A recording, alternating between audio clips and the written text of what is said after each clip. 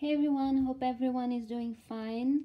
Today I'm doing just a, a, a, quick project share and I'm going to announce the winner of my giveaway. The deadline was the 30th of September and the rules were you had to comment below what you would do with the spare frame that I would send you and you also had to do a VR or a post on Instagram, either on your feed and your stories. And although some of you did comment, only one person actually followed all of the rules and posted also on her Instagram.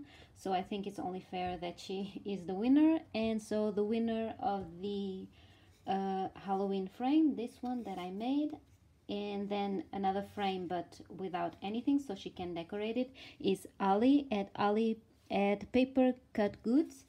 Uh, so you're the winner, yay!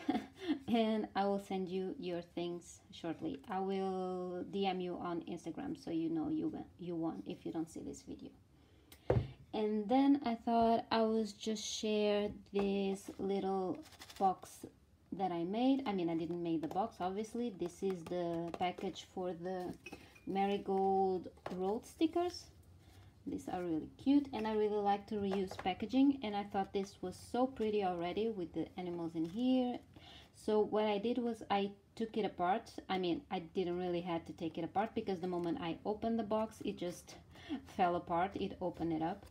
So I just, uh, as it was opened up, I stitched another piece of uh, acetate on the cover. I did it on the inside because I thought it would look better.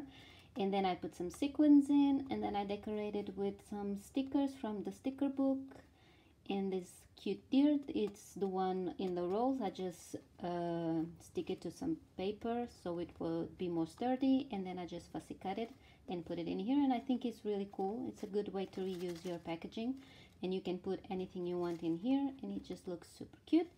And then i thought i would show you how the booth stand uh, that i did my tutorial for ended up how i decorated it. Um, full disclosure i did make the roof again because the one that i did on the tutorial was a little bit wonky. I'm not sure why. I think i glued it wrong or something like that. So i just took it apart and i glued it again and this time is perfect. I think it's not wonka this time. And i just thought i'd show you how it ended up. In here I used some field notes from Rosie Studio, this little snail, he's very cute and then some papers from the Go the Scenic Route, some lace that Faithy gifted me with in some ruffles, some uh, die cuts here. I really like this die cut. I use it a lot for layering. And then I just did a little paper ruffle in here and these are the hearts that you saw me do. And then in here I just use a rosette that one of my pen pals sent me. And this one is also from Field Notes by Rosie Studio.